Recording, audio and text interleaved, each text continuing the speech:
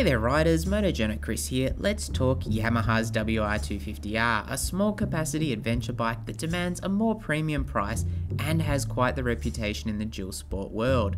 If you want my first road and commuting impression, check out my earlier vid, linked top right. However, if you are after a beginner adventure bike which has really strong off-road performance, then this could well be for you. And it's also a favorite of lots of people who are kind of in the know and who are happy with a smaller capacity dual sport. Now, on paper, Yamaha's WR250R is well spec'd in the category, but from a road perspective, it's easy to get caught up on the power figure, getting a bit more serious about your off-roading and adventure riding, which is what the WR250R is aimed at, really moves the goalposts as to what you want in a bike. There's plenty of more powerful and much heavier machines out there. In fact, there's even options like the Versys X300 and G310 GS, which are in the same region of motorcycle, but these tend to be much more road orientated out of the box. The collective wisdom of the internet does, however, suggest that if you're into trails and being more adventurous and want that off road lean to your bike, the WR250R is one of the best options that doesn't give up too much road viability in the process, with an ideal blend of entry level ease and potential to grow your skills.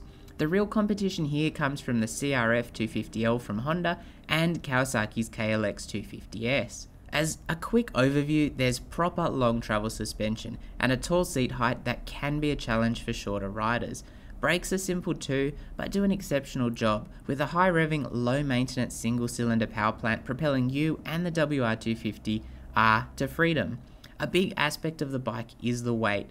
At 126 kilos dry, it's not hardcore off-road racer light, but it is significantly lighter than a road bike. And the fuel tank is small at 7.6 litres, but you'll get exceptional mileage out of it, and there are larger tanks available for purchase. Keeping in mind, of course, that when the going gets tough, weight matters. When you drop a bike, weight matters. When you're looking at overall performance, weight matters. And when you think about rocky or rough off road riding, that weight helps ensure everything works well from the suspension to the brakes, as well as helping you as a rider reduce the amount of fatigue you're suffering. Now this WR250R came from Yamaha Australia in Tenere 250R guise, which includes a very welcome amount of wind protection plus a larger tank. These combine to massively extend the bike's range and also to ensure highway riding isn't a chore. An adventure bike needs to be able to cruise on the highway, and the WR250R will do that easily at 110 or 120 km per hour indicated, with some more in the tank and the revs are of course going to be high. Loping along country roads and through the scenic routes will be no issue and taking the twisties is still fun, although your tyre choice will of course come into it. With all that said, the WR250R has a reputation of being a better highway machine than even some of the 450cc machines in the similar kind of category, which do suffer from more vibes and where different gearing isn't always as ideal for those high speeds. You're not getting modern 200 kilo plus adventure sports or adventure touring comfort or the mile munching capability with oodles of horsepower, but the trade off is a lighter and more competent off road package, which should be kind of obvious here.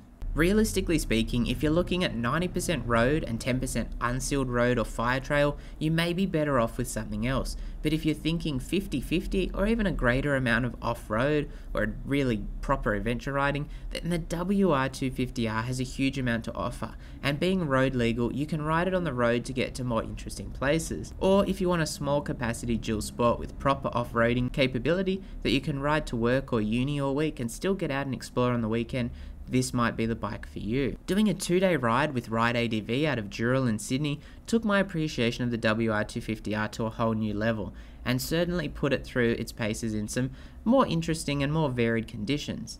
Now, Ride ADV run a fleet of WR250Rs, especially set up for their adventure touring rides, and this gives you an idea of just how highly they think of these bikes.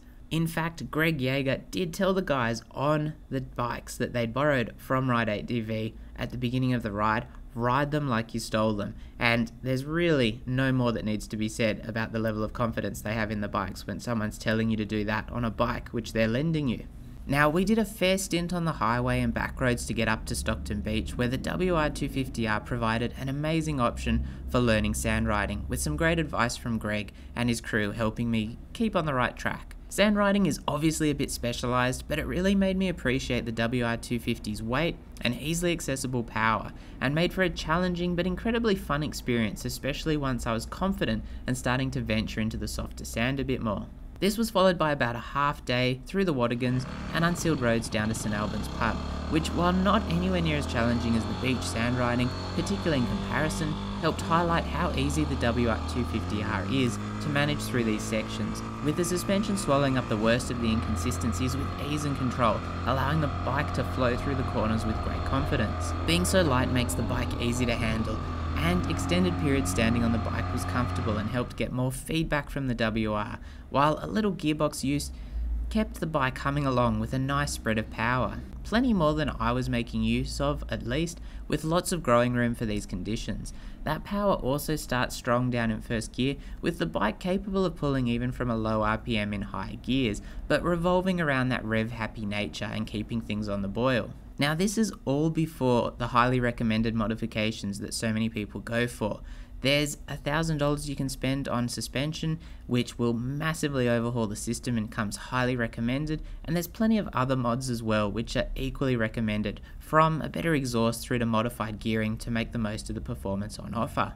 Now, obviously, I haven't run the WR250R through some crazy single trails at speed like the professionals, but the WR massively impressed me, enough so that I tried to find one secondhand for a reasonable price. The thing is though, that these bikes hold their value exceptionally well, and there's just not that many of them going secondhand, which really speaks to how well regarded they are. Sadly, it does seem like the WR250R's days may be numbered, with Euro 4 and Euro 5 restricting what hits the market, even where they aren't directly applicable, so getting in while the going is good is probably an idea if you really like the idea of one of these bikes. Obviously, for those who feel the need to upgrade for more performance, or whose riding needs don't align with what this bike is properly good at, the WR250R might be one to pass over. But for those after an off road orientated adventure or dual sport bike that's relatively light, offers good power, and a great all round package, it's hard to look past the WR250R, even for a first time rider. Just check that seat height. Now, if you've got any questions, let me know, or if you think I've missed anything. Don't forget to sub, hit that notification bell, and as always, stay safe out there. Thank you.